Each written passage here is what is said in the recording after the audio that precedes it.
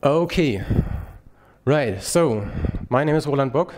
I'm a principal software engineer at PPro Financial Limited. I'm also the author of SQL++ 11. And today, um, I want to talk to you about template magic for beginners. And what do you mean? Uh, what do we mean when we talk about template magic? Um, there are a number of things, like there's these libraries that do crazy things, like the library from Klaus, Blaze library that helps you with um, optimizing mathematical expressions. Right? So it teaches the, the compiler to do that. Um, there is my library, SQL++ 11. It teaches the compiler to understand SQL. And if you code SQL, then with this library in C++, the compiler will tell you if you make mistakes in SQL.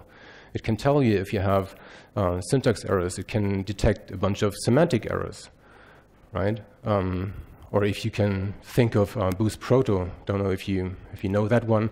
It's a library that is designed to help you write embedded domain-specific languages. So uh, with just a few strokes on the keyboard, you can create your own um, language in C++, just like that. Um, it takes a lot of keystrokes to actually make it do something useful, but just with a few keystrokes, suddenly you can write all kinds of expressions. Doesn't do anything, but there you go. Um, and if you take it a little bit uh, longer, then you can get something like, um, like Boost Spirit. Boost Spirit even sounds like magic. And uh, you can use it to teach the compiler pretty much to parse any language. You just give it a BNF plus this library, and then you have a parser generated by the compiler for you. That is almost magical, right? And if you look at the code of these libraries, um, and you're not an expert for that, it looks like total gibberish. So it must be magic, right?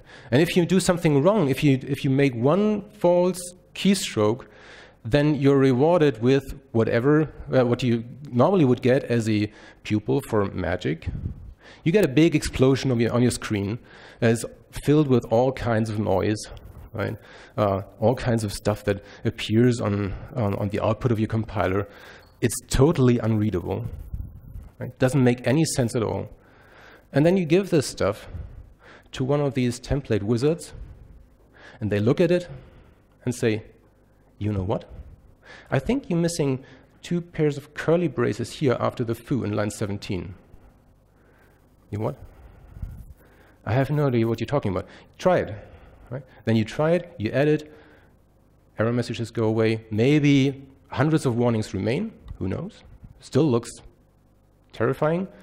But the compiler does what it is intended to do and uh, generates a piece of code for you. Okay. Um, again, feels like magic. If you look at the output, if you look at the library, whoa, uh, gibberish. But the reality is, it's not magic. In reality, it's, it's the result of uh, something called template metaprogramming and hard work. And so I have a confession to make. This is really not an introduction to template magic. Um, welcome to template metaprogramming for beginners. So sorry if that disappoints you. Um, so in this talk, we'll, uh, we'll look at template metaprogramming uh, and some, some basic for that. Um, and we'll start with something that hopefully everybody in this room knows. And it's, we'll start actually with um, an interview question that I typically ask in a phone interview uh, for everybody who does a phone interview at our company. Um, that is, what happens during pushback inside of a vector? Anybody wants to, to shout something?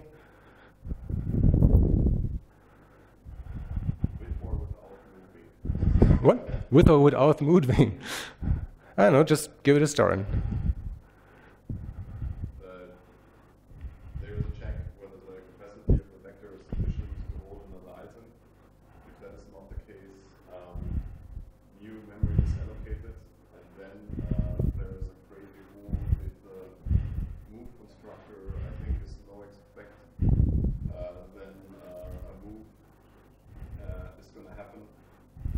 otherwise a copy is going to happen and the elements are copied to the new memory location.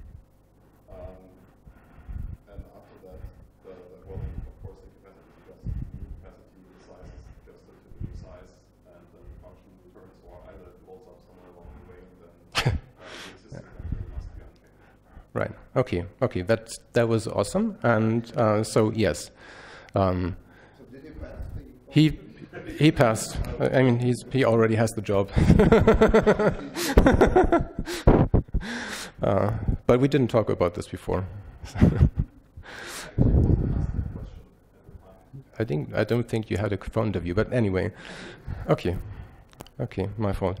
Um, yes, so um, exactly. So one of the things that that's happening during happening during pushback is um, probably a call to reserve. So if the capacity is not enough, then there's going to be a call to reserve, and um, so now I'm just repeating what Michael said. Um, in reserve, there's a check if the capacity is, uh, is big enough, then, well, we don't have to do anything. But if the capacity is not enough, then we'll have to do something. Okay, and the something very much depends on, uh, on what is stored in the vector. So if the value type of vector is bool, okay, then we'll have to do something. And actually, I don't really care about what it is. Um, if it's trivially copyable, then, and I'm not sure if that the if the standard really um, um, demands that, but most implementations uh, do um, a memory copy or a memory move in that case. If the elements are noexcept movable, then we'll move every single element to the new memory and otherwise we'll copy. Okay. Now, this is, these decisions, or some of these decisions, cannot be made at runtime. Okay. Um, does any does everybody know why this cannot be done at runtime, and not at least not completely or in all cases? Anybody wants to to venture a guess? some of the branches wouldn't compile exactly. So for instance, um, let's take a, a, vector of threads. Thread is, uh, is not copyable, it's just movable. So um, if we have a branch that copies everything, um, and that has to compile so that we can make a decision at runtime, it just won't compile. Okay, So um, yes, so we have to do some of these things at compile time. Some of these decisions have to be made at compile time, and then we only have to compile some of these branches. Okay? Good. So in in order to to make this a little bit more uh, tangible and and easier for uh, for the mind, we'll first break it down into um, a smaller problem. So instead of having four different branches, we just make two branches. Right? And the first decision is, well, if it's bool, then we'll do something. If it's not bool, then we'll do something else. Okay? And um, this is um, done with a uh, technique, at least in all implementations that I have seen, uh, with partial specialization. Partial specialization is a technique for um, template programming where you can um, constrain one or more template parameters to, to some, some rules um, and then give a different implementation for that. So the vector template uh, in, its, uh, in its basis is with two parameters, uh, t and, and the allocator, so value type and allocator. And we can say with partial specialization that we want to um, constrain the, the type T, for instance. Right?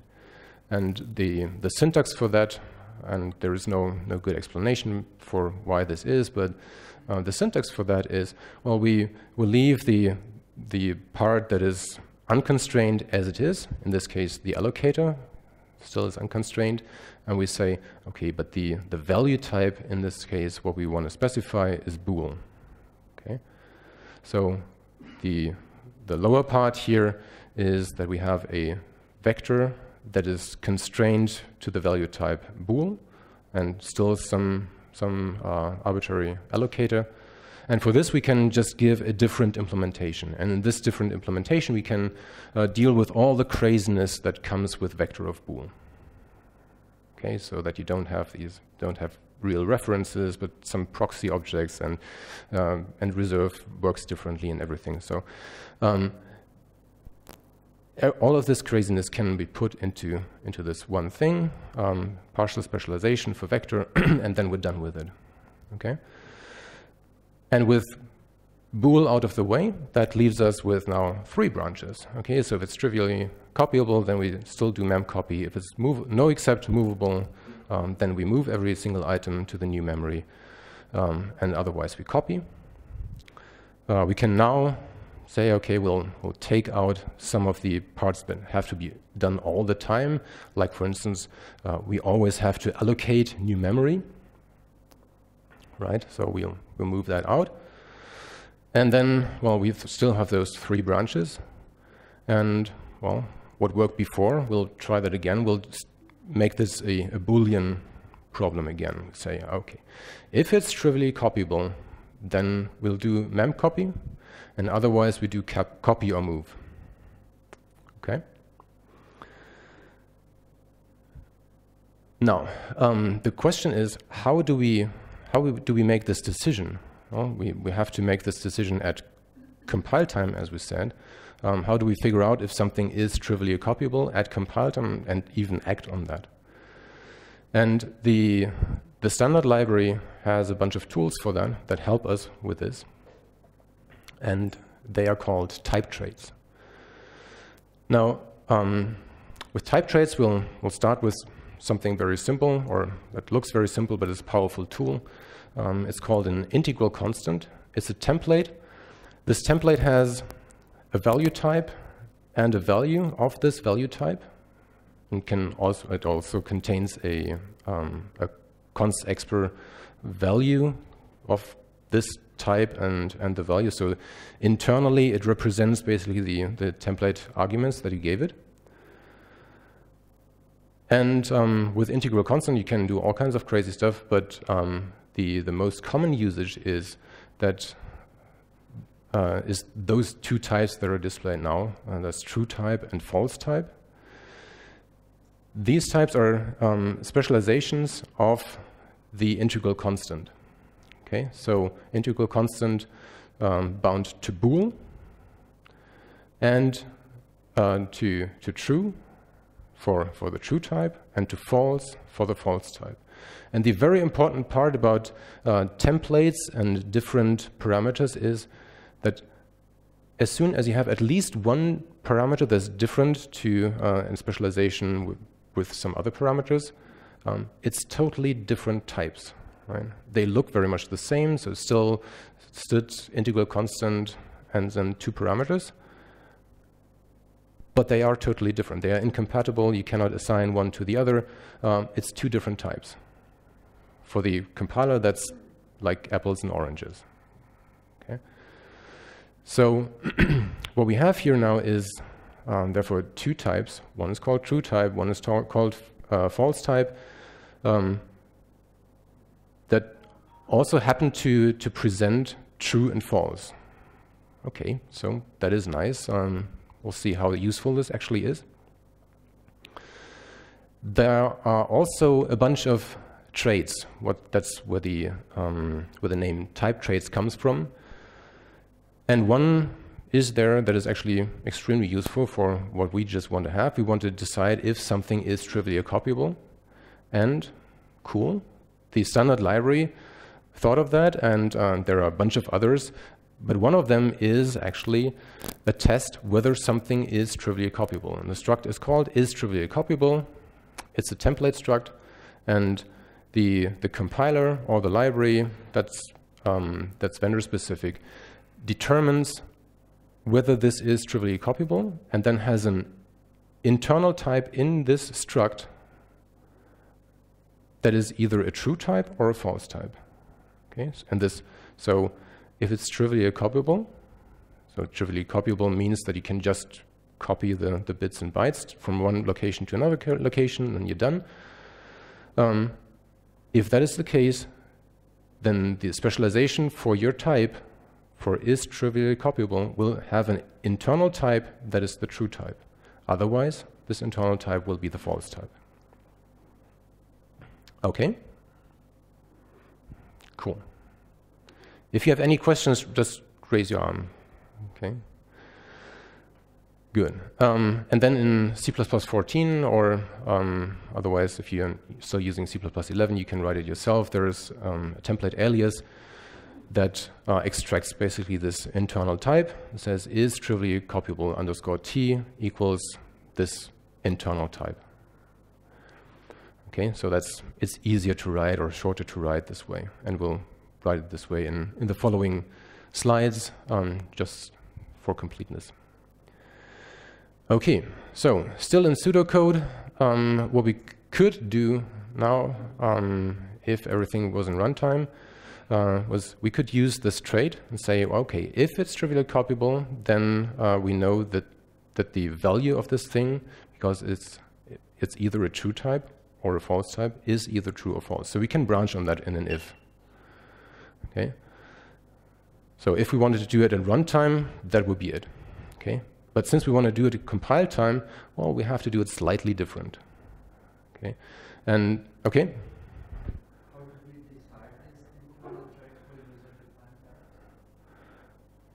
Uh, for user-defined types, there are there are a bunch of rules uh, which I don't know from the top of my head. Um, but I mean, trivially copyable is true for uh, for the built-in types like like ints and floats and so on.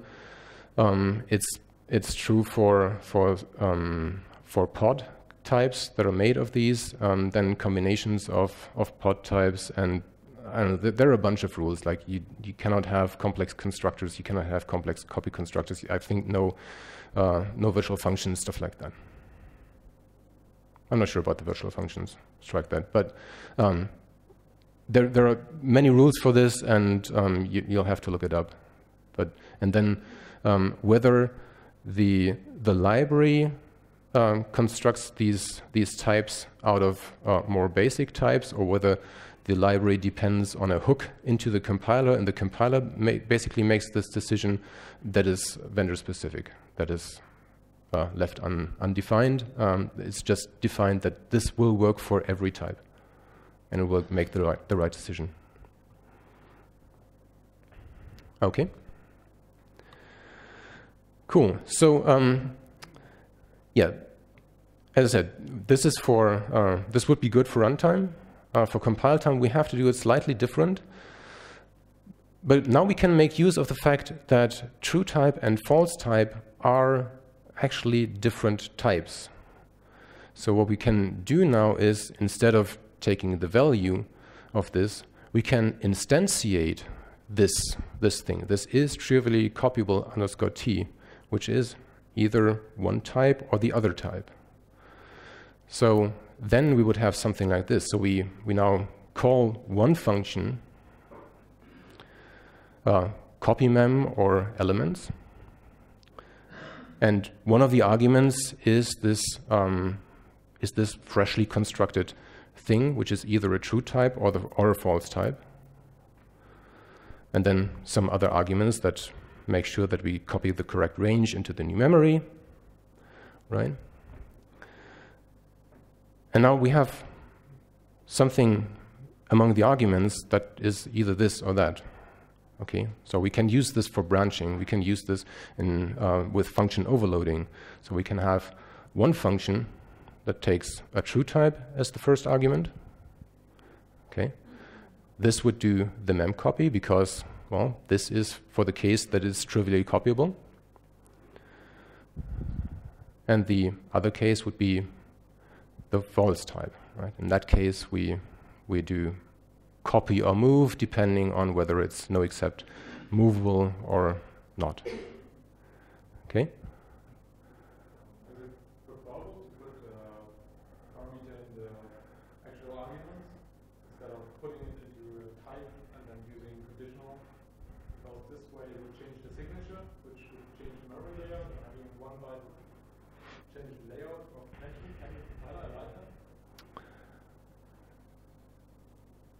So the question was whether this is preferable to, to do it this way or to, uh, to use some template parameters with, with this type.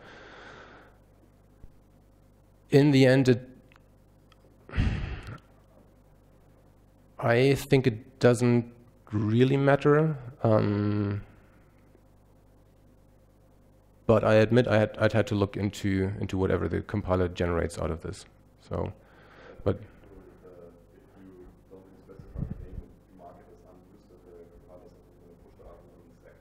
Yeah, yeah. It's it's probably going to be erased from from what the compiler generates.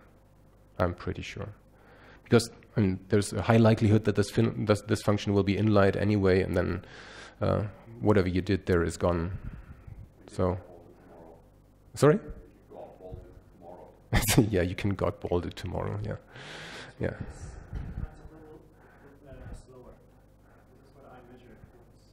Okay. Right. My experience is one or the other technique. Sometimes you need one, and sometimes you need the other. So it's good to know about both. Yeah. Okay. So Klaus says he measured it for at least for his cases. Uh, it makes a difference, and um, it's not preferable to to yeah tiny difference in any case, but um, it's not necessarily preferable to um, to have the parameter as a uh, as a function parameter, but maybe you can also use it as a template parameter in the end, it doesn't really matter. Um, you have function overloads, and um, either you um, use this this type or the instantiation of this um, as a as a parameter for a function, uh, as a call parameter, or you use it as a template parameter.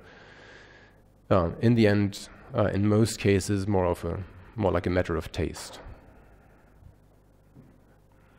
Okay. Okay. Other questions for that?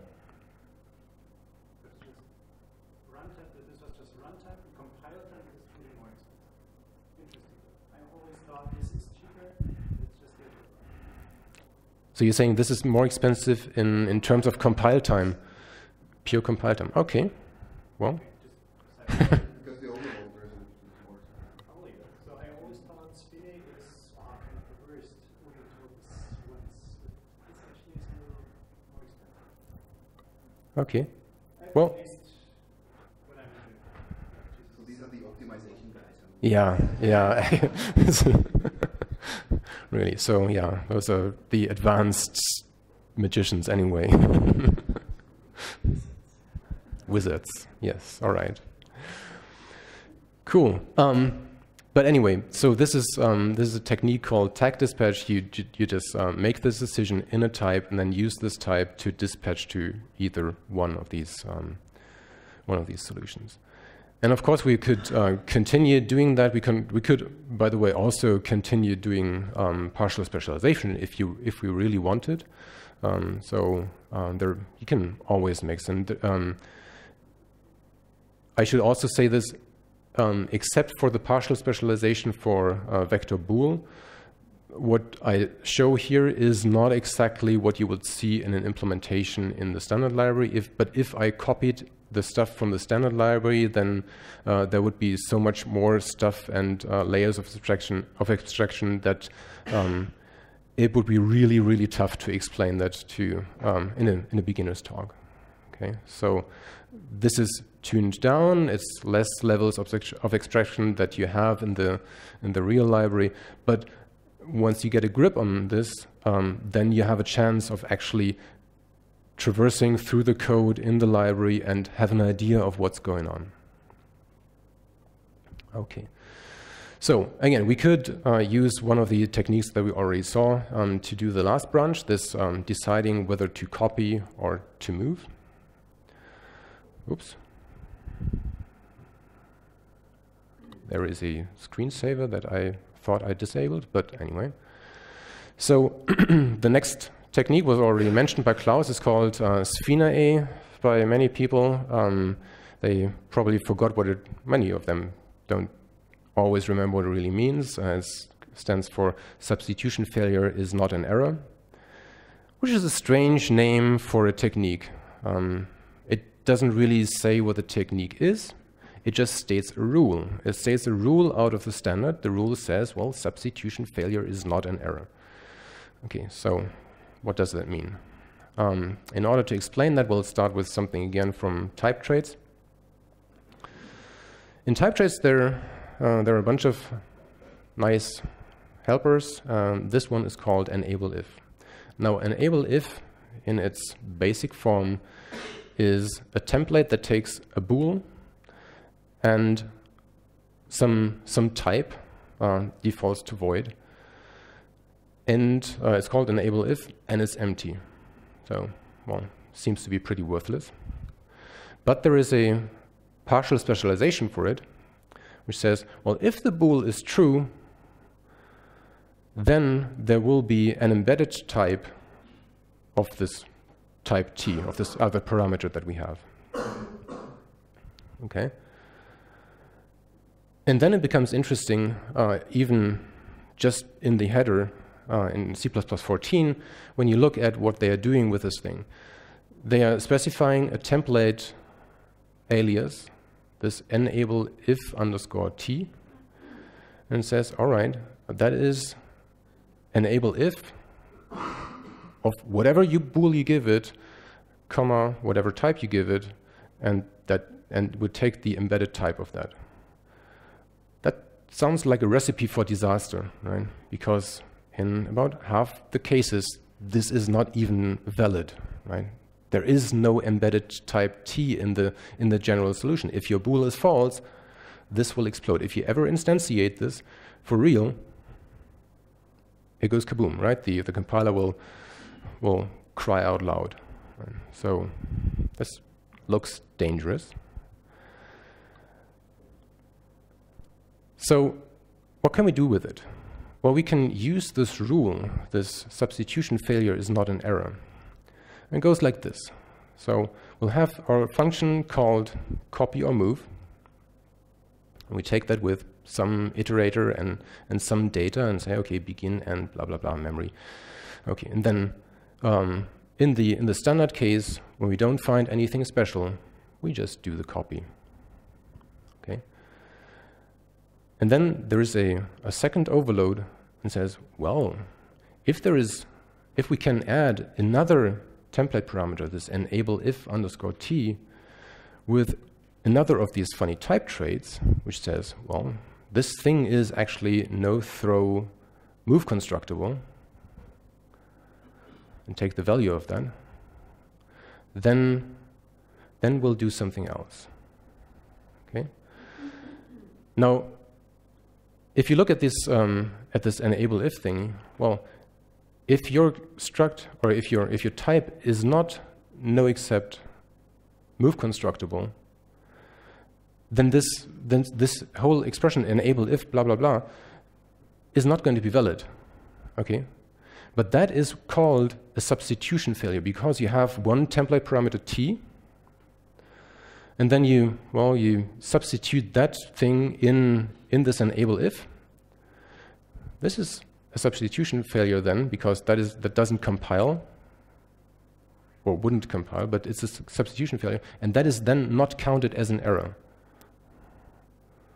It's a it's a rule that makes template programming um, well possible in many cases, um, and well just says that if this if this uh, substitution failure occurs, so this uh, enable if thingy for this type is not valid, then, well, this function is just not counted in the overload set. We just ignore it. The compiler just considers it not, as not being there, right? But it won't explode in your face. Whereas if you call this enable if um, directly outside of this context with this type, then it would not be a substitution failure, and then it would be an error. Okay. So this is, it's a bit of a strange rule at first, but it's, it's very powerful because it means that well, you, can, you can play with this a lot, uh, make, make things or construct things that are only valid in, under certain circumstances, um, wrap that uh, within your template parameters, and cool, the compiler will just remove functions from your overload set, for instance. Okay? So with this, we can make the final decision. We have this, um, this, this other type trait, the no-throw move constructible type trait, and then we branch with the help of, uh, of, subs of substitution not an error, which, as I said, the many people just call SFINAE, and they even say, well, this, this function SFINAE is out or something like that. So it's, it's used as a, as a noun, as a verb, as an adjective, anything.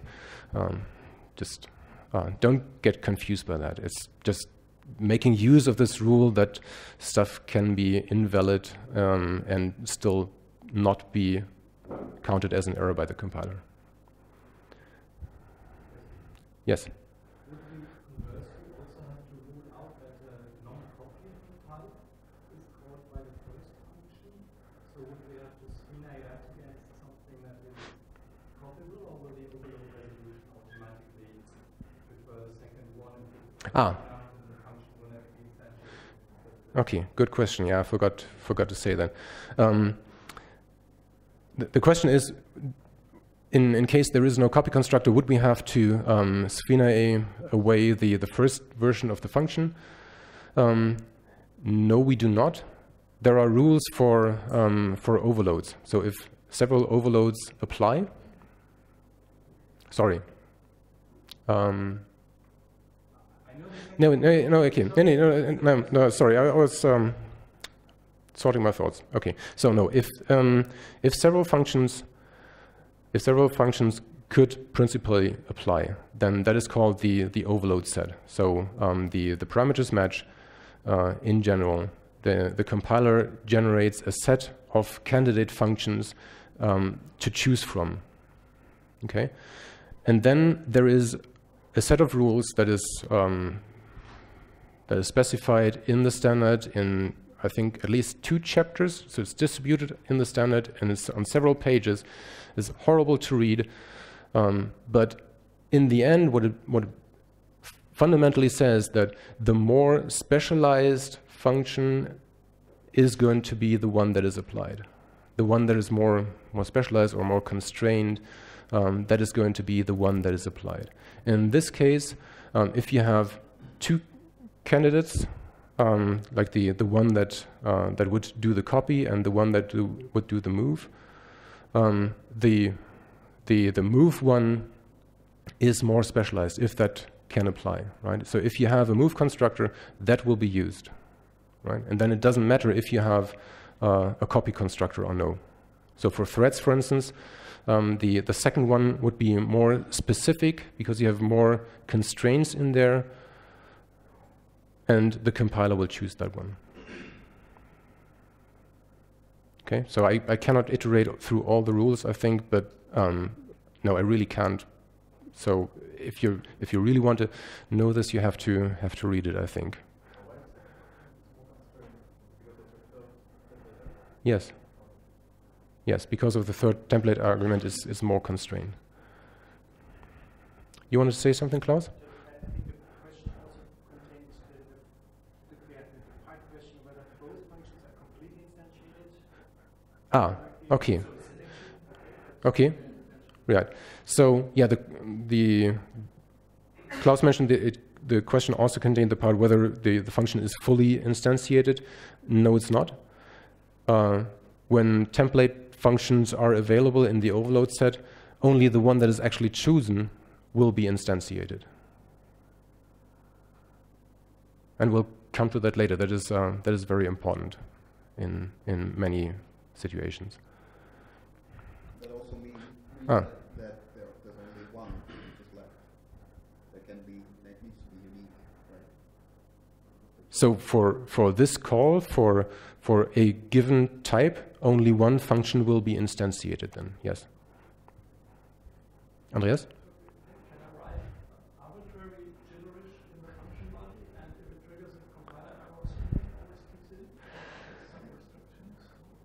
Well, no, the, the, the functions, the temp- those template functions have to be correct C++, right? They don't have to make sense for the types that you might possibly want to provide to them as long as they are not instantiated. But they have to, but they still have to be valid C++. Um, again, that there, there are a bunch of rules for that. So yes, the, it has to be valid C++ syntax, and inside of the function, it kind of has to make sense. Hmm? How do you use this if you have like more than two branches? If you have more than two branches, then you uh, you could combine uh, yes and no traits. So you say um, if it's no throw constructible and not copyable, for instance, and if it's whatever. But I mean, it gets ugly then. So the the attempt is to to make this to make this binary. In in most cases, or you use uh, you could use um, type traits that do not have binary logic. So in that case, you wouldn't use that. Um, but yeah, if you if you have multiple um, paths that you want to go, um, and you you do not have maybe that's the answer. If you have multiple uh, paths that you want to go, you you have to be able to to choose unambiguously. Yes, that's why this, this construction wouldn't work, right? Like if you add a, if you copied the second function with uh, template specification and just changed out the type trait, you would complain that they're equally constrained. Or Like So if okay, so the question is, if I copy the the second function and use a different type trait, then well, if the if the type traits overlap, so let's say you have is no throw move constructible and is move constructible for whatever reason. Okay, so they they really overlap.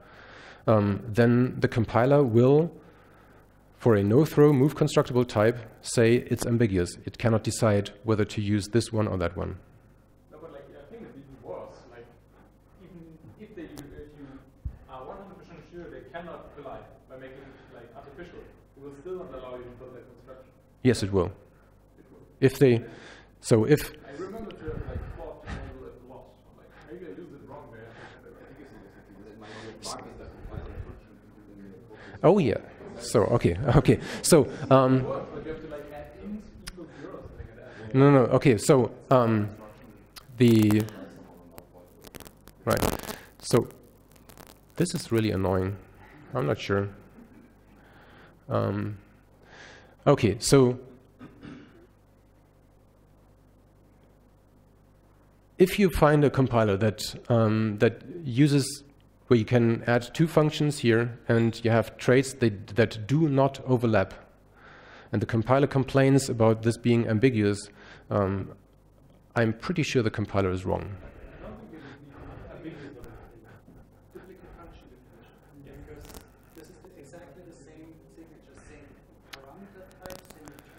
But with, with different, with, uh, I don't think so, with different, um, okay, sorry? Happens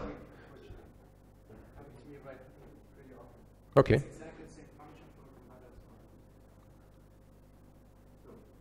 okay, I'll, I'll have to try that. Okay, I, I don't know. The neighborhood T will be void in both cases. But if, yeah, but, but if it's, if it's, if it's void in both cases, then you, they overlap. Yes, but they look the same. Huh? But they look the same. They're imagine having this and, uh, okay, Okay. Well, there's some, some homework. Okay. Maybe I'll give a lightning talk. or you give a lightning talk. Anyway. yeah, no, none of, none of this is interview questions, just in case you wonder.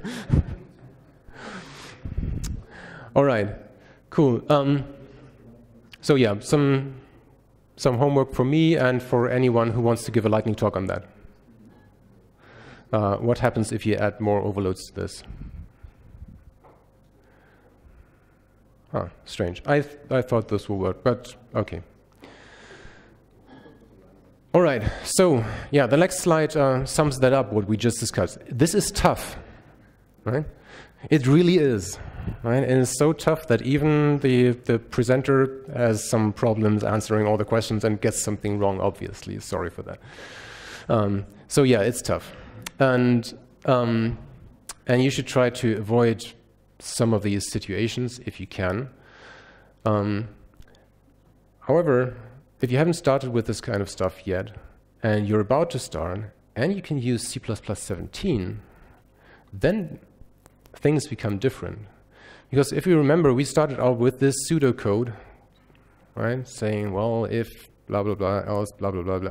That was easy to read, right? That was, that was nice.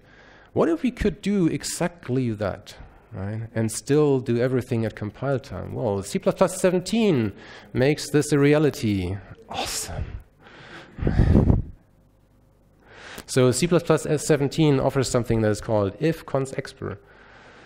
And that means, well, we can just do the checks that we want to do. We just add this const keyword to our if and else if, and then only that branch that is selected naturally by these conditions is compiled. And the rest still has to be valid C++. But whether that would compile or not is immaterial. The compiler doesn't care. Right? So with C++17, lots of this lots of this uh, annoying stuff about tag dispatch or SFINAE might just go away. Not all of this, but in many cases you can just replace it with if constexpr. The only problem is that many people just cannot use C++17. I, uh, I can't in my job currently, so damn it. But yes, um, so the, the future is bright. Uh, will be much easier. Cool. So yeah, C++17 rocks. Um, if you if you experiment with enable if and this kind of stuff, um, please also look uh, look at uh, void_t.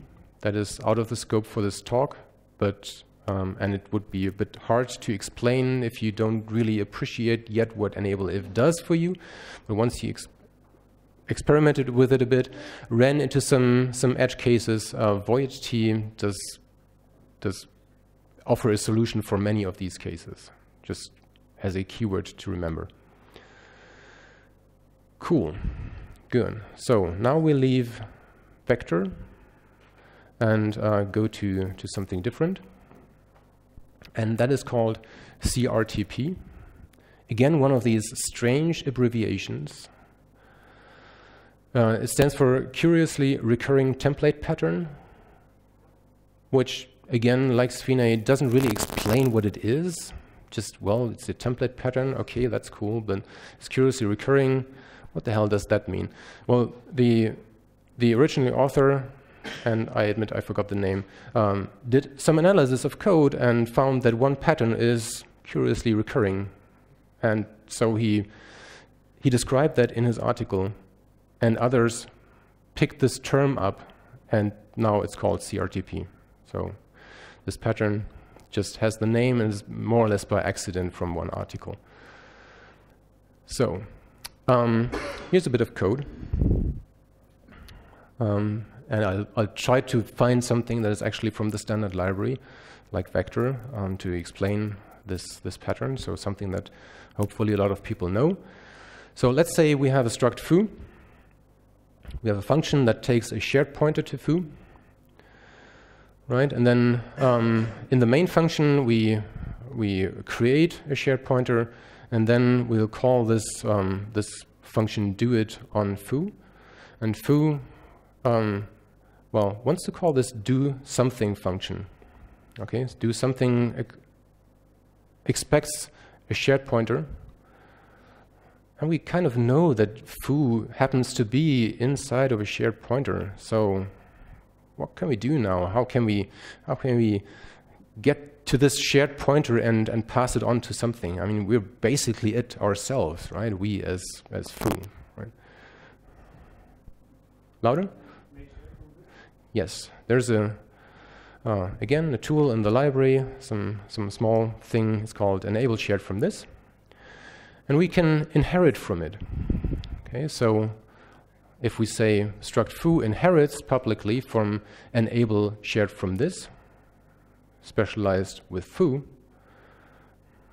then uh, we can call a function called shared from this on ourselves. So that's inherited from from uh, this enable shared from this, and that in the case that our object is inside of a shared pointer, it will just deliver this shared pointer. Okay. So this looks strange, right? So we have a struct and it inherits from a template and the template parameter for this template happens to be, well, this struct. And some people say, well, that, that looks like recursion. Okay, I heard that before, but um, it isn't basically it's a forward declare. So foo is forward declared, and then we use this forward declaration and put it as a template parameter into, into this template, and then we inherit from it.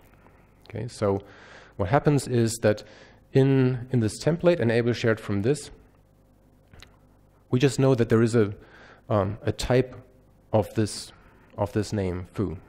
All the rest is not there yet. Okay, and then, well, let's take a look at the enable shared from this implementation. And this, by the way, um, with minimalistic code cleanup um, to um, to um, to deal with several different uh, compiler versions or library versions. This is actually the code from the standard library. So this is almost unabbreviated and uh, and not simplified like the stuff that I did for vector. This is the enable shared from this implementation from uh, libc++. So enable shared from this Again, it, it takes um, some type as a template parameter, and then it, internally it has a, a weak pointer um, of this type. Then there are a bunch of constructors, copy constructor, and blah. Okay. Um, then there are these functions that offer this functionality and uh, shared from this, and they return a shared pointer which is constructed from the weak pointer right? And then there is a template friend, and the template friend as well says, well, if there is a shared pointer, then that is our friend. Right? So how does this work now? Right? So okay, now we we have a base class to our class that happens to have a weak pointer but if you look at the constructors, the constructors are empty. The copy constructor is empty. Everything is empty, right? Nothing happens ever. Right? So how the hell does this work? Right? First of all, why does it compile? Well, it compiles because um, for the for the weak pointer, you just need to know that there is a type. You don't need the, the type definition. And as I said, we're just passing basically the name of the type. So but for a weak pointer, you don't have to do, have that. And for the uh, um, also for the rest, you don't need to know the the, the, the type for this um, to compile, first of all. But then, um, at some point in time, well, this weak pointer probably has to be filled because otherwise this won't work. And what happens is, well, this, this friend shared pointer thingy, that's the, that's the key. And the shared pointer implementation knows about enable shared from this. And it knows that, well, if the type with, with, with which you specialize it, if that is derived from enable shared from this, then it will instantiate this weak pointer. So the shared pointer is actually doing the work here. Okay? And this, this pattern of inheriting from a template and passing the, the type that inherits to the template, that is called CRTP. And it looks really strange, and um, there, I'm giving one, one more example um, for this. It looks really strange at first um, because, well, you, you have two sides of this thing, and one is the, the derived thing, which is not there yet when you, uh, when you look at the base thing, but the base thing kind of depends on the derived thing. It's, it's, really, it's really strange, but it's, it's very powerful to, to do stuff like this, for instance. Okay, questions about this construct? Um, also, uh, another question um, that is a uh, question actually for, for my benefit. This is the only example that I could think of where CRTP is openly used in the standard library. Does anybody know of other examples? Just curious. It doesn't have to be here, or I, would be happy about emails or anything afterwards here. I'd be interested to, to know about other cases. This is the only thing that I could think of. All right. Hmm? In the standard library. So personally, I, I use it in, in several places, so I, I have no shortage of use cases for this. um, but uh, within the standard library, I'm not aware of any other location where it's actually being used. Probably when implementing some iterators for standard types. Could that be? But it will depend on the implementation, of course. I remember seeing something like that during one of the debugging. Okay. Okay. So Paul says maybe maybe iterators of Okay. Possible. Okay. yeah. Yeah. Another topic for a lightning talk. I knew it.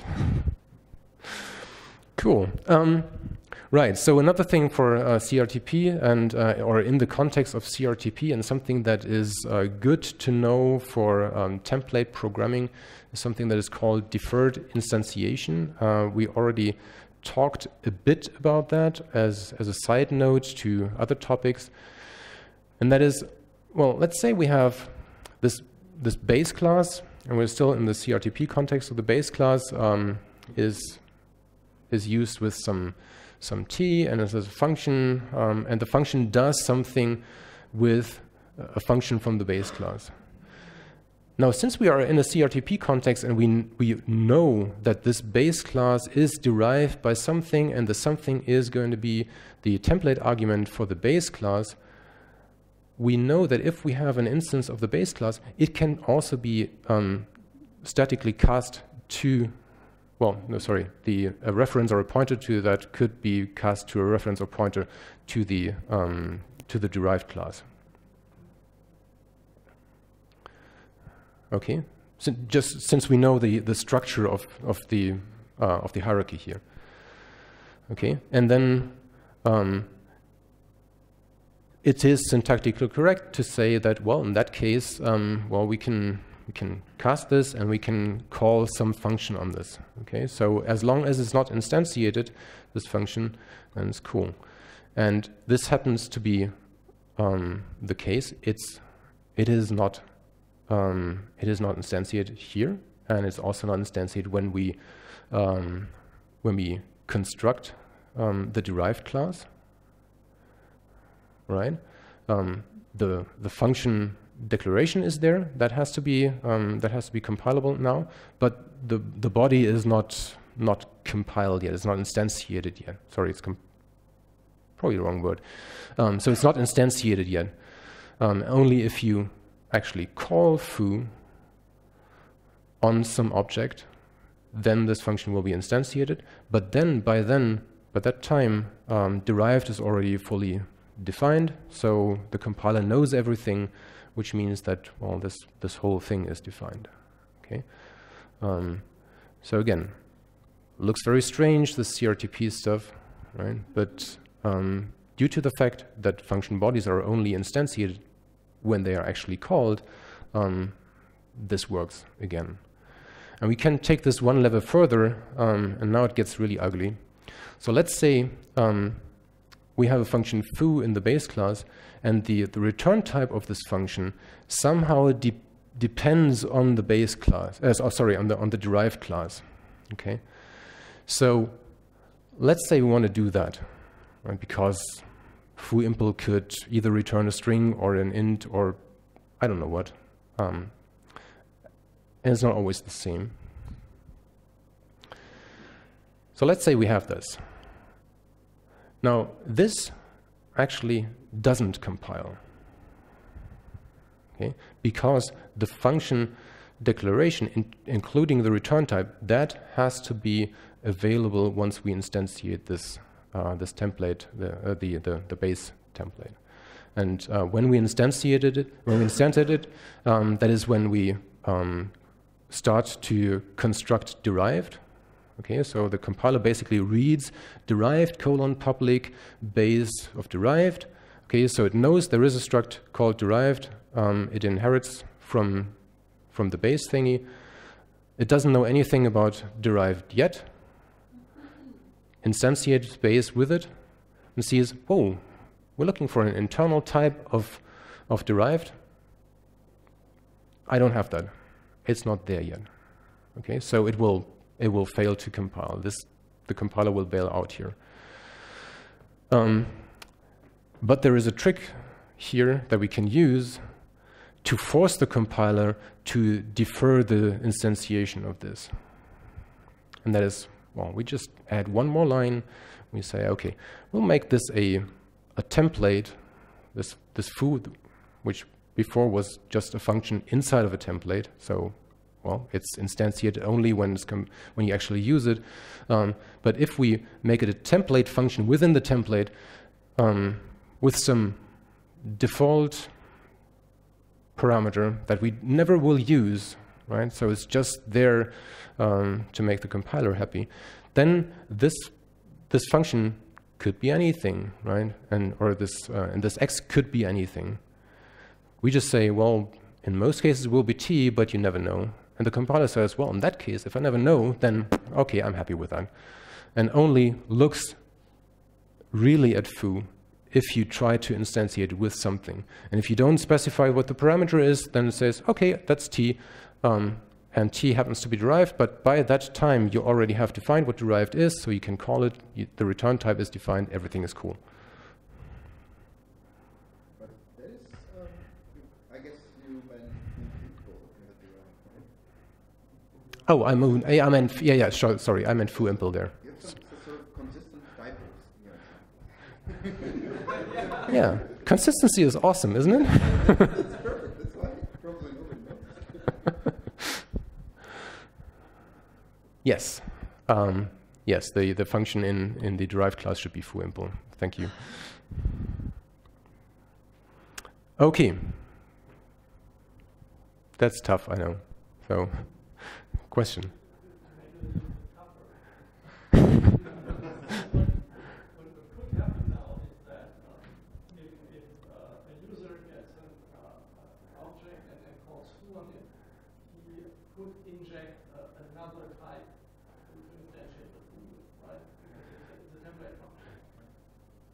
Yes. So uh, users could abuse the fact that foo now is a template. Yes. Could probably use FreeName to keep them from doing that. But Phew. Maybe, does anyone know if we can concept constrain it that way?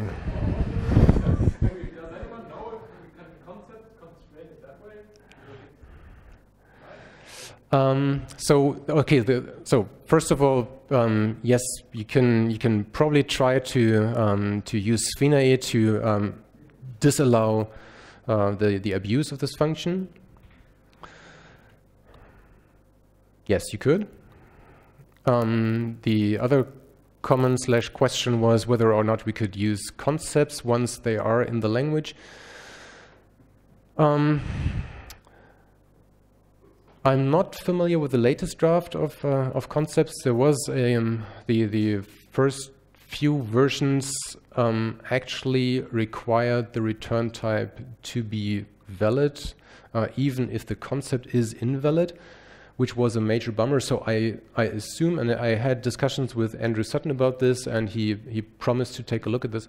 So I assume that by now, in the current uh, technical specification for concepts, um, this would be gone. So if you have um, a template that requires some constraints, uh, and the constraints are not fulfilled, um, then the compiler won't look at the return type. So this problem will probably be gone with concepts, but I would have to look into the uh, specification. I don't know whether that's the case.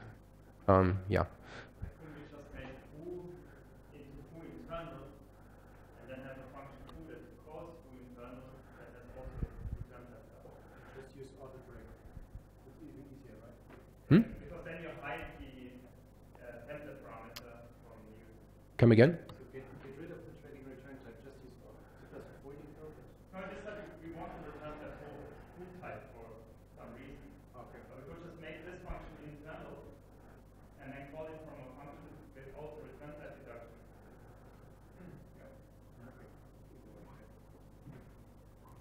Oh, so um, yeah, C++ 14 has auto return type deduction. Um, that is a bitch sometimes. It really is, um, because um, for the compiler to, to know what the complete function signature is of a function, it has to instantiate the whole function. And it does that for the overload set. So if your code does not compile under certain circumstances, so in this case, it won't matter, right? In this case, that will be fine, I think. I'm pretty sure.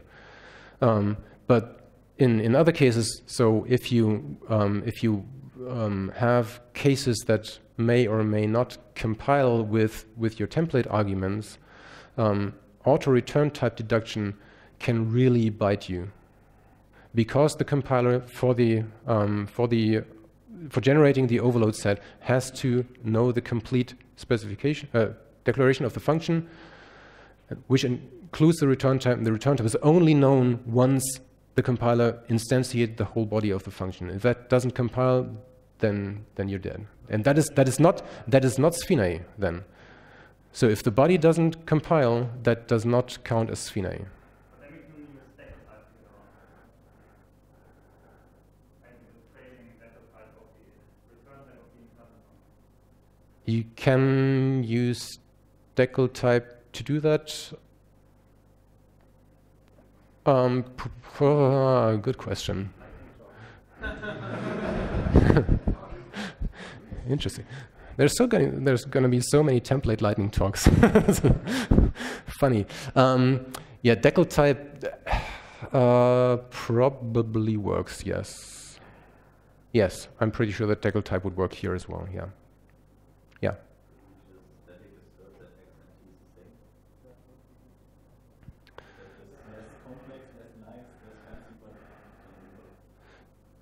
Okay, so the, the question is, um, can we use, just use static assert to um, enforce that um, that x and t are the same? Um, yes, you can. Um, static asserts has some has pros and cons. Um, it can give you a, a nice error message, and if you say that, well, this is definitely wrong, and whatever your intention was, this is wrong, never do that, then you can use static assert. If you say that, well, maybe, or it, my, my user should be able to test this at, at compile time, whether this is a valid expression, and if not, then do something else, uh, then static assert is not a good thing, because static assert is a hard error. It's, again, not something that you can use in a SFINAE context, so uh, you, you need to choose your weapons wisely. Okay, but in this case, in this case, it's fine. So you want to have x be either t or a type derived from t in this case, right? So you have to account for that. Standard has a type traits for that, is derived Yeah. from. Yay! So Type traits for the for the win. yes. Yeah, but you have a template. Can't you just, in any case, always just specialize it for T and inject your own code? So you can't really constrain it very much. So, um, what do you mean specialize? I can specialize this more, like I fully specialize the template. And then write my own body.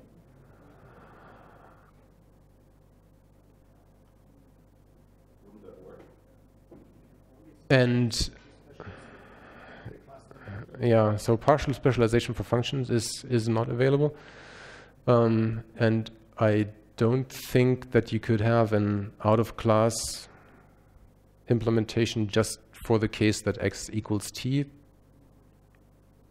I don't think that's possible, and and if you and if you did that, then you would still the compiler would still have to deal with the case that if you use uh, int instead of whatever you expected, um, then it would have to deal with the fact that there, that there is no implementation for that. So even if that worked, then you would still get a, a very strange compiler error. Okay? Cool.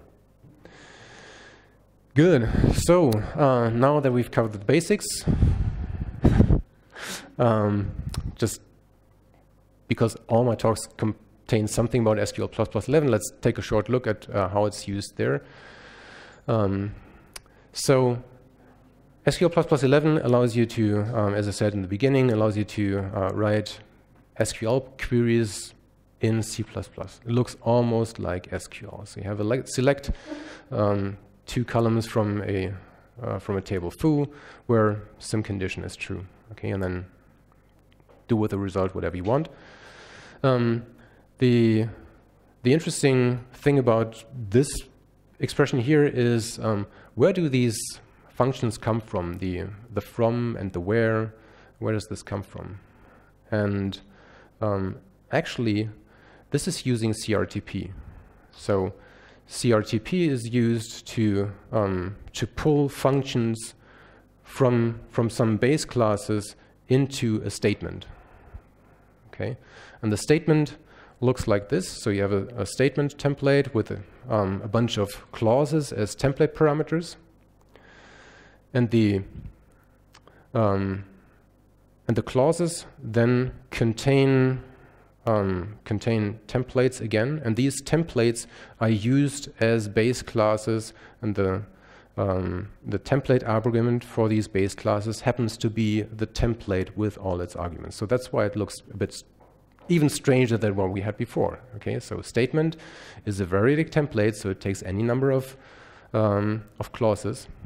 Okay, then it inherits from an embedded template within these uh, template parameters from all of them, right? For, from every single clause it inherits. So it's multiple inheritance, or it, uh, you could call it variadic inheritance. Um, and it's variadic CRTP. That's an accepted term by now. Um, so it's variadic CRTP, and the, the base classes or the, the base templates happen to be embedded templates within the template arguments of statement. And the template parameter for these base class or for these base templates is the statement itself with all its clauses. That's where you have um, two times the uh, dot dot dot in this. The inner one is uh, saying that, hey, this is our uh, the, the, the, statement that we're talking about with all its clauses. That is used as a template argument. And this whole thing happens for each and every clause. Okay, and then you have base classes that represent um, the, the, the select itself. You have base classes that select uh, that represent the from, base classes for the where, and so on.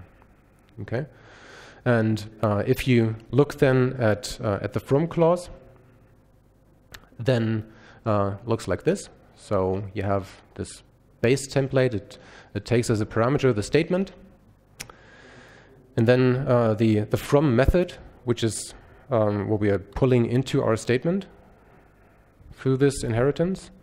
Um, that uses uh, deferred instantiation in the return type. So this this whole thingy with uh, new statement type uh, with some check type in there. The check is something similar to the type traits that we've seen before. Um, so that instantiates something that is always sane, regardless of whether this check is valid and uh, our the argument for for the from is actually a table or or a join, um, and otherwise it will yield something different, but it will still yield a type that is that is valid. So we have deferred instantiation in in the blue stuff, and uh, we have tag dispatch in the red stuff. So this um, check type um, is is a is a type that is um, well, internal to the from clause.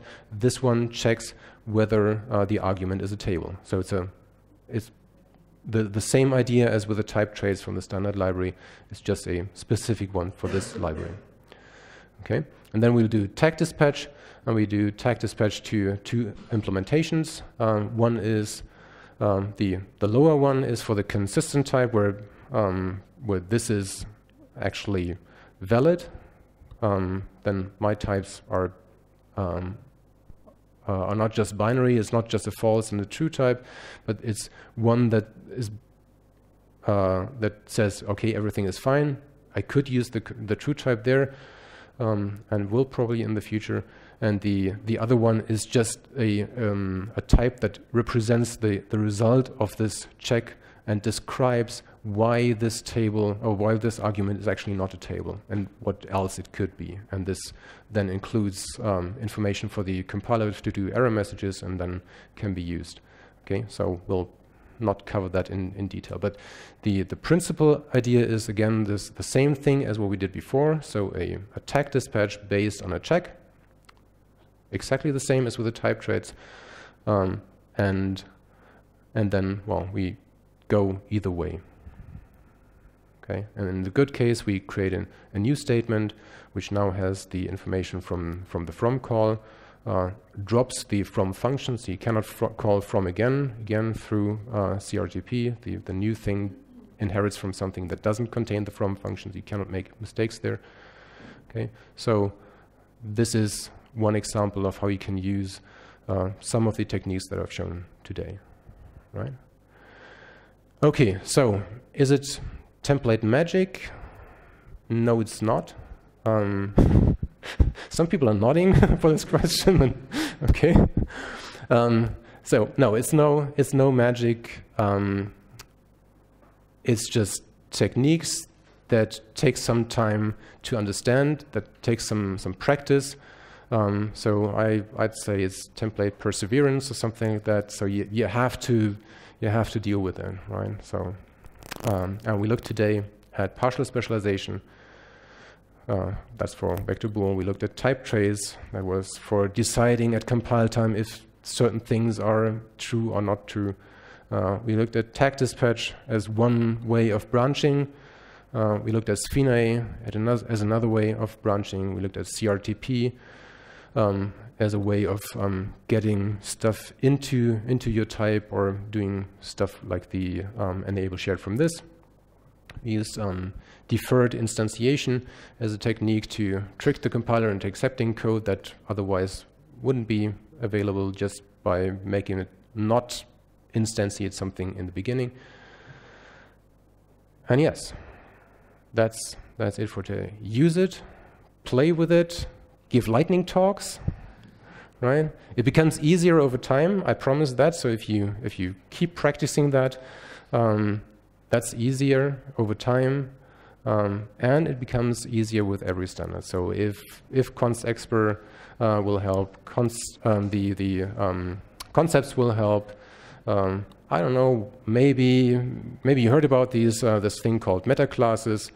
Um, that would be awesome. That will uh, in, insert all kinds of new things into the language, which will make things much easier in many cases.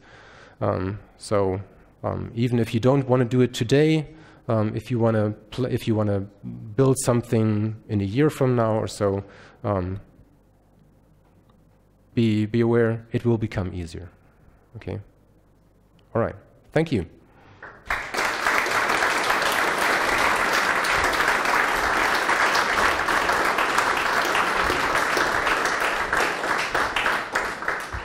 Yes, Daniel. you want to talk about it?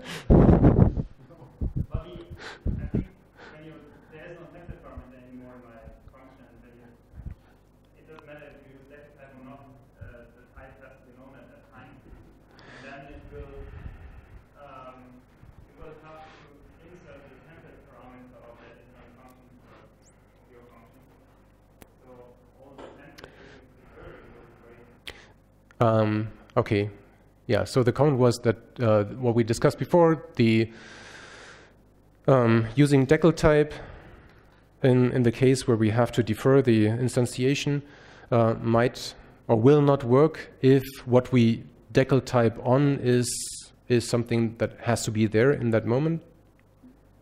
That is probably correct. That is, it's not a dependent type, yes.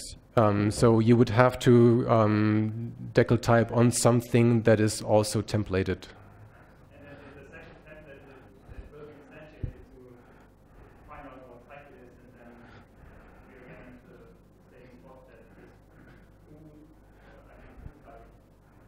Yeah.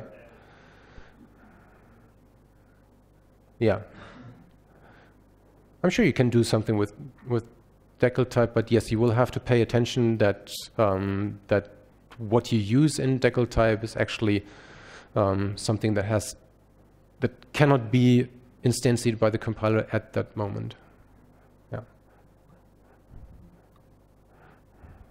Yes. Um, so one of the things that, that always get always get me off from, from template programming uh, is uh, the fact that in a deeply nested uh, code of templates, the error messages are horrible, and um, you either write your code in, in a way that basically can never fail, like you know, um, it just eats anything and just compiles uh, whatever you're programming. Which is kind of cool. Otherwise, are there any ways to produce same error messages in case unexpected templates are going to work? Are there any techniques? Um, okay, so there are a bunch of techniques. Um, I actually gave talks about that at CppCon and Meeting C++. The, the principal idea is to, to move the checks that you have to make um, as close to the, your API boundary as possible. That's the, the overall idea. As soon as you have a check that fails um, 10 levels of templates inside of your code, the error messages will always be horrible. And you will probably be the only person to, to understand if that, right? Um, but if you, if you manage to move the conditions and the respective checks to the API boundaries as you would do with any runtime code, then you can constrain the error messages to a minimum. And then you, the, the, um, the other part to that is, um, so you have a check um, that is at the API boundary, as close as possible. And if the check goes right, then you go into your, the code that you want to execute. And if it goes wrong, then you go into some branch that either contains a, a static assert or does something to make the compiler stop and not um, iterate into your code. So you have to branch there, right, eh, on this condition. So that means, in other words, fail early. Fail early, yes. But it's, it's the same idea as with runtime code. You, you, get, you get input from the outside world. So somebody calls your function. Uh, if you do not uh, if you do not check the, the parameters at that point and, and branch on this decision, um, then well you will have some exceptions later, and uh, people won't know why why it happened now and not earlier. And it's the same thing with templates. It's just a bit harder uh, and and um, let's say uh, not you're not used to to do that um, typically when you're dealing with templates as much as you would do with runtime code. Um, but it, it's um, it's a question of of um, discipline and of experience um, if you want to do that. Right? Most people in the beginning, if they when they start with this kind of stuff, they're happy if the golden path goes right, right? Because it's it is tough. Right? This kind of stuff is hard to do, and if you have no experience or little experience, then this kind of coding is really, really, um, is really, really tough. And to make it work at all is tough. Okay, but once you are beyond this level and, and say, okay, I know what I'm doing, and I, I can write this code uh, and have some confidence in it, um, then latest you should start thinking about um, checking for errors, wrong parameters as early as possible and as close to the API boundary as possible. And then branch.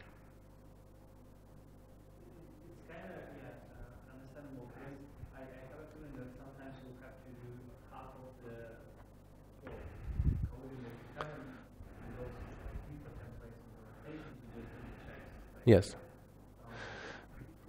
Yeah, th th there, yeah, there, there are techniques to, to move the results of these checks back to where you came from.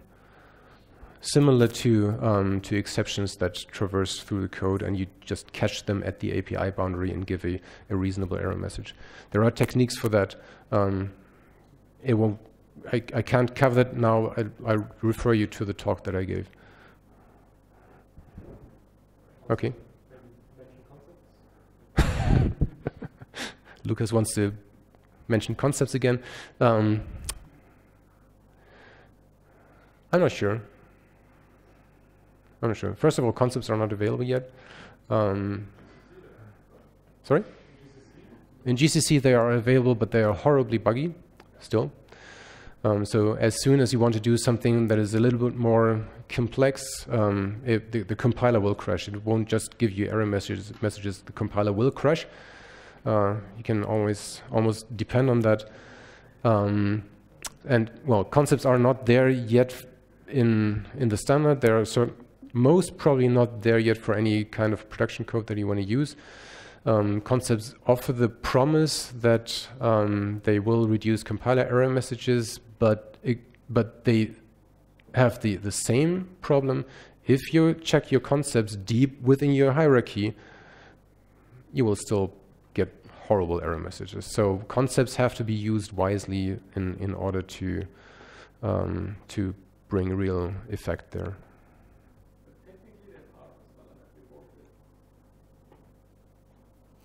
They're voted in as a, as a technical specification. That's not part. Anyway, that's a technicality. Okay, Daniel, you had some some more comments. Yeah, in general, I think it's a good idea to not make too complex meta functions, but write meta functions, test them, and then on top of that, write new meta functions. So, um, and they're easily testable in static assert. And once you have something and you know it's, it's working for all the branches, uh, then you can go on and do more complex meta functions based on that. But then the unit test will take uh, the property as well. Yeah. So yeah, testable. Writing. Uh, so yeah, writing simple meta functions um, is was one comment. Um, that is always a good idea. Do not try to put too much stuff into one one of these constructs that you build there. That's one of the reasons why I why I use binary decisions in in all these examples. Uh, broke everything down into binary stuff. Much easier this way. Um, and anyway, what you're, what you're, when, you're, when you're trying to do something, try to break it down into smaller things and then combine them. And you can, as you said, you can test these smaller things. Um, you can try to make them uh, work with everything um, if that is an option. And otherwise, yeah, you can use all kinds of techniques like static assert or whatever.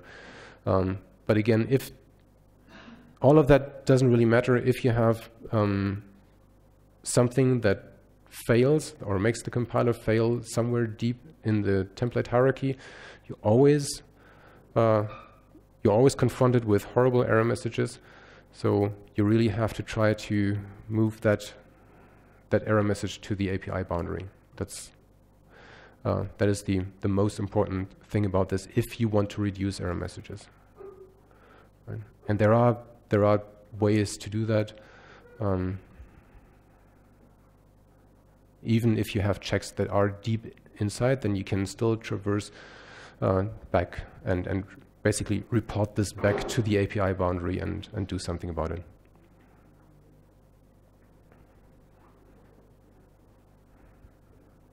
And, yeah, and at the end, learn to integrate that on the solution. Because otherwise, when you need to get through some sort of uh, initial um, initial hurdle obstacle, you just need to learn that.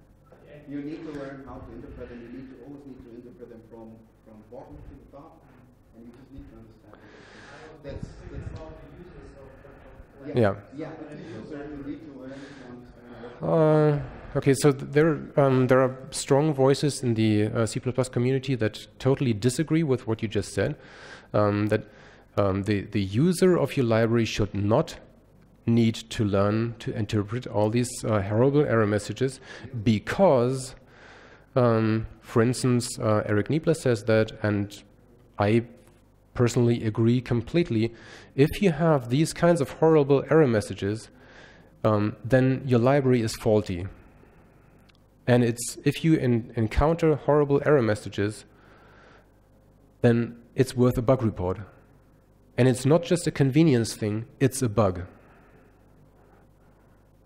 Right? Not everybody agrees with this, simply because it's so hard to get it right at all. But um, if you're at a certain level and you um, you want to have a wider user base, um, your code should produce short error messages no matter what. There are limits to that, and you, in many cases, you cannot limit it to below three lines or something like that, or maybe five lines. But if you, if your library makes the compiler spew hundred lines, consider it a bug. Well, but at the end, you need, you need to get around it, right? You need to find a reason for that. Yes. If you're the if you're the library author, then you have to deal with it, and in many cases you will uh, encounter stuff that is much much worse than any user will hopefully ever see because your library itself is buggy and the, the code doesn't even work and even in the good cases um, it does something wrong and something is instantiated in a way that you didn't expect and then all hell breaks loose and then whoa yeah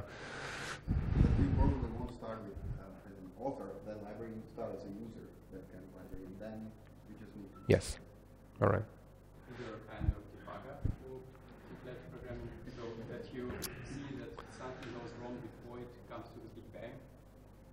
Um, the question is if there is a debugger for um, templates. Um, well, first of all, you can, um, if you know where it explodes or shortly before that, you can you can trick the compiler into giving you all kinds of information by, for instance, saying, um, let's say you have some some uh, some object and you would like to know what type it exactly is because well you're, you're 10 levels inside of your template hierarchy and you just don't know. Um, well just say object dot your name for instance. Okay. Um, this will never compile but the compiler will exactly tell you that um, this object dot name does not exist and it will give you the type information you can do the same with types. Um, you can do the same with, with templates and stuff like that. There's also um, um, there is a tool called I, I forgot there there there is some something like um, like a template explorer. Um, I have to look up the name. I, I forgot the name for that just try to remember the the name of the author of that. I think it's the same author as uh, the one for Metaparse. So if you look up Metaparse, you have the author, then you probably get the, the library for that or the, the tool for that. Hmm? David Senkel. Yes, exactly. No. Sorry, no, not David Senkel. Hmm? Yeah, Bulgarian guy. Um, nice person. I the, the name is on the tip of my tongue, but well, we'll come back later. But if you look from from, um, i am pretty sure it's the same author as the author for Metaparse, um, which is a an awesome compile time library that lets you analyze uh, strings at compile time and do all kinds of crazy stuff with that. Um, and he has written a tool that lets you explore templates um, I haven't really used that. I'm relying more on this brutal technique of uh, just letting the compiler tell me what the hell this is. Um, but it's a it's a matter of taste and and uh, experience and whatever.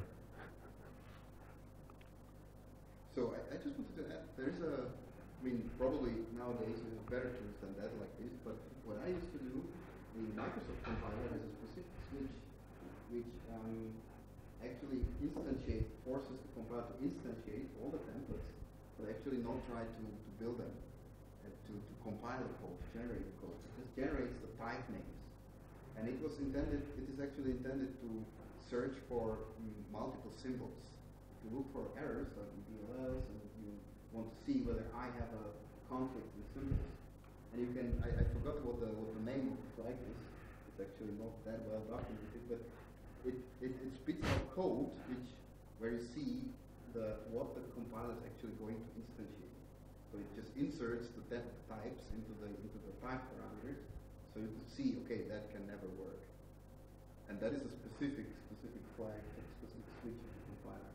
I used to, I have used to use that as I, as I was looking for that type of virus. But it's so long back, so probably nowadays. it's better than that. Hmm? I, I don't know if the newer versions still have that. So that's an interesting point. Yeah. All right. Okay. So to, to summarize that for for the video, uh, so Paul says there at least there was a flag in the Microsoft compiler to instantiate all the templates. Uh, not really do anything with it, um, but instantiate everything so that you could at least look up all the types that you would um, that would that you would compile, and then um, see that a bunch of stuff probably won't work. Okay. Cool. Then I'll say thanks again and have a, a lot of thoughts about lightning talks and hopefully see you to see you in uh, two weeks.